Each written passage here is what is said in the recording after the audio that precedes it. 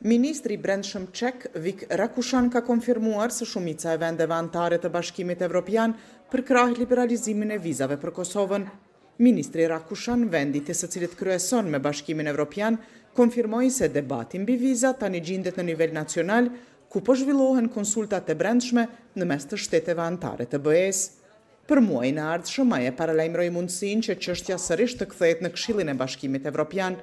Rakushan megjithatë, nuk dha kurrfarë sinjali se kur mund të shënohet përfundimi i debatit mbi vizat në mes të vendeve anëtare.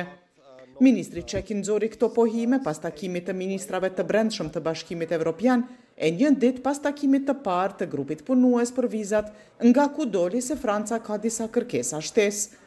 Takimi i radhës i grupit punues për vizat, ku sërish do trajtohet çështja e Kosovës, do mbahet më nëntë dhjetë nëntor, ndërsa të gjitha shtetet e interesuara kanë afat që deri më njëzet e një tetor të deponojnë komentet e tyre me shkrim tek Presidenca Çeke në mënyrë që të përgatitet mbledhja e radhës.